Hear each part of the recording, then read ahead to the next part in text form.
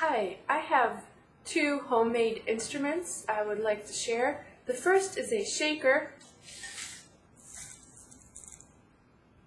This shaker was made using a small Diet Pepsi can and inside is a dried lentil beans. I taped aluminum foil around the top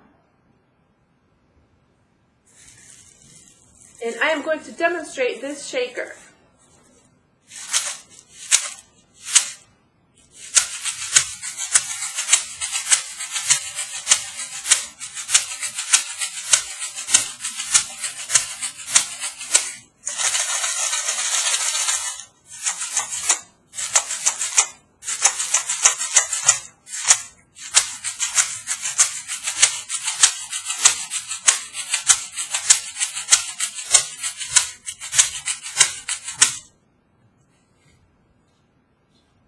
My next homemade instrument is a scraper using a plastic fork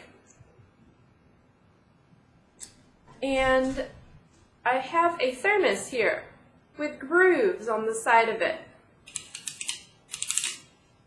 Okay, so I'm going to play my thermos like a güiro.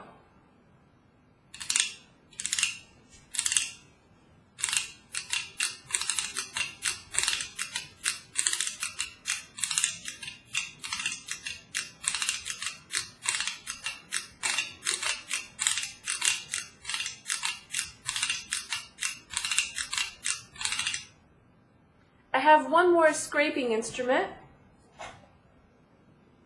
I discovered the spiral bound of a book. The spiral edge right here makes an excellent scraping instrument. For example, using my plastic fork,